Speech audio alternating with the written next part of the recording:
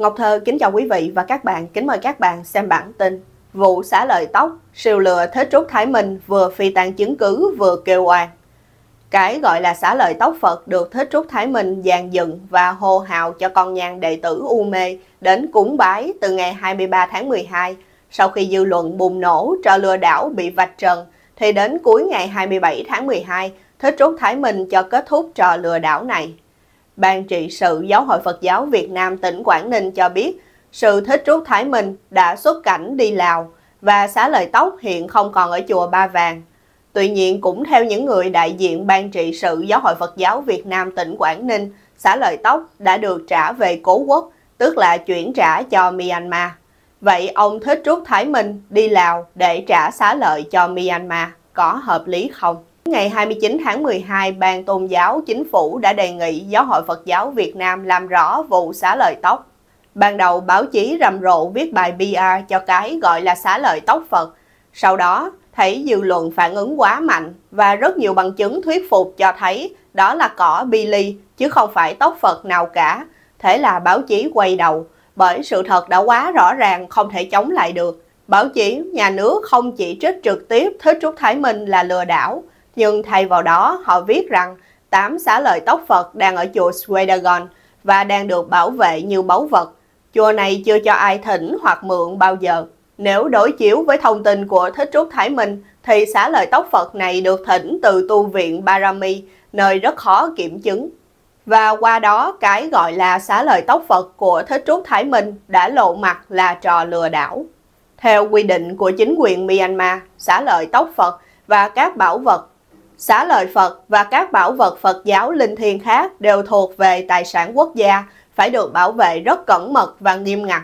Vào những dịp đại lễ quan trọng, ngay cả những người đứng đầu tôn giáo và các yếu nhân cũng không có đặc quyền được chạm sờ trực tiếp mà chỉ có thể chiêm ngưỡng từ xa trong khán phòng trưng bày quốc bảo. Vậy Thích Trúc Thái Minh làm sao mang được tóc Phật thật về chùa Ba Vàng? Ngày 28 tháng 12, Thích Trúc Thái Minh ôm tang vật biến Ngày 29 tháng 12, Ban Tôn giáo Chính phủ đề nghị Giáo hội Phật giáo Việt Nam thẩm định nguồn gốc xá lợi tóc trưng bày tại Chùa Ba Vàng. Thì trước đó một ngày, Thích Trúc Thái Minh đã ôm tan vật chạy sang Lào. Vậy ai đã báo cho ông sư lắm chiều này biết để ôm tan vật biến mất khỏi chùa? Không loại trừ chính Ban Tôn giáo Chính phủ đã nháy trước cho Thích Trúc Thái Minh phi tàn chứng cứ, rồi sau đó ban này mới ra văn bản. Khi văn bản có hiệu lực, thì chứng cứ đã không còn. Hãy đợi xem Giáo hội Phật giáo Việt Nam có xác minh hay không, bởi việc xác minh không khó, chỉ cần truy nguồn gốc của xá lợi này, truy người đã đem xá lợi ra khỏi Myanmar và nhập cảnh vào Việt Nam, đồng thời xác nhận với bên Myanmar xem có sự việc đưa xá lợi tóc Đức Phật về Việt Nam hay không. Nếu không truy gốc thì rõ ràng phía chính quyền và Giáo hội Phật giáo Việt Nam cũng có vấn đề trong trò lừa đảo của Thích Trúc Thái Minh. Ngày 29 tháng 12, Thích Trúc Thái Minh ra văn bản giải trình với Hội đồng trị sự Phật giáo Việt Nam, Ban Tôn giáo tỉnh Quảng Ninh, Ban trị sự Giáo hội Phật giáo Việt Nam tỉnh Quảng Ninh và Ủy ban Nhân dân tỉnh Quảng Ninh kêu oan rằng thông tin dùng cỏ Billy làm xá lời tóc Phật là không đúng, là mất uy tín của chùa Ba Vàng. Nói chung, ông này đang kêu oan với bề trên, Vậy nếu không oan thì tại sao không dám để cái gọi là xá lợi tóc Phật lại để chính quyền và người dân kiểm tra mà ông lại vội vàng ôm tan vật bỏ chạy? Văn bản kêu oan của Thích Trúc Thái Minh ký ngày 29 tháng 12, ngày mà ông được thông báo là đang ở Lào. Điều đặc biệt là vào ngày 29 tháng 12, Thượng tọa Thích Đạo Hiển, Ủy viên Hội đồng trị sự, Phó trưởng ban kiêm chánh thư ký Ban trị sự Phật giáo Việt Nam tỉnh Quảng Ninh nói rằng Sư Thích Trúc Thái Minh đã đi Lào, nhưng sao ông Sư Thái Minh lại ký văn bản giải trình đúng ngày 29 tháng 12? Hay là Thích Trúc Thái Minh đem giấu còng Long rồi hô hoáng lên là mang đi Lào? Rất có khả năng chính quyền và giáo hội Phật giáo Việt Nam chỉ diễn vở kịch để hạ nhiệt dư luận. Khó có khả năng họ điều tra đến nơi đến chốn. Bởi hành động lừa đảo này, Thế Trúc Thái Minh không thực hiện một mình mà có bàn tay ẩn giấu của chính quyền bởi nếu chính quyền không tham gia thì họ đã không chỉ đạo cho hàng loạt báo chí viết bài PR rầm rộ cho hành động lừa gạt dân chúng của Thích Trúc Thái Minh. Quý vị và các bạn vừa theo dõi chương trình cập nhật tin tức của Ngọc Thơ thời báo chấm D với bản tin Vụ xá lời tóc, siêu lừa thích Trúc Thái Minh vừa phi tan chứng cứ vừa kêu oan. Ô nhiễm khiến Vịnh Hạ Long mất đi sắc xanh tuyệt đẹp. Ngày 29 tháng 12, AFA tiếng Việt loan tin Vịnh Hạ Long mất sắc xanh tuyệt đẹp. Theo đó, Vịnh Hạ Long của Việt Nam đang đánh mất đi sắc thái trong xanh khi mà tình trạng ô nhiễm và phát triển quá mức đe dọa đến sinh vật tự nhiên cũng như hình ảnh đẹp hoàn hảo của vịnh. AFA dẫn một trang tin quốc tế ngày 28 tháng 12 nêu thực trạng tại Vịnh Hạ Long như trên. Theo đó, khu vực được UNESCO công nhận là di sản thiên nhiên này là một trong những điểm đến phổ biến nhất tại Việt Nam của du khách. Thống kê cho thấy vào năm 2022 có hơn 7 triệu du khách đến tham quan vịnh nước xanh với hơn 1.900 hòn đảo đá vôi phủ bởi mảng xanh. Hình ảnh bản tin trên AFA. Tuy nhiên, AFA cho biết do quá phổ biến và tình trạng phát triển nhanh chóng của thành phố Hạ Long với những cáp treo, công viên giải trí, khách sạn sang trọng và hàng ngàn căn nhà mới xây đã hủy hoại nghiêm trọng hệ sinh thái của Vịnh Hạ Long. Tình trạng rác thải, túi ni lông cũng gây ô nhiễm vịnh.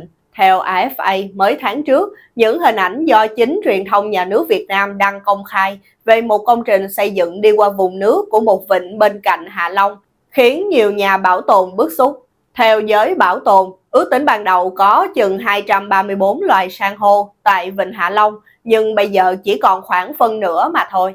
Trước đó, ngày 20 tháng 11, AFA cho hay tạp chí Photos Travel của Mỹ khuyên du khách không nên đến Vịnh Hạ Long cũng vì tình trạng rác thải và ô nhiễm của vịnh.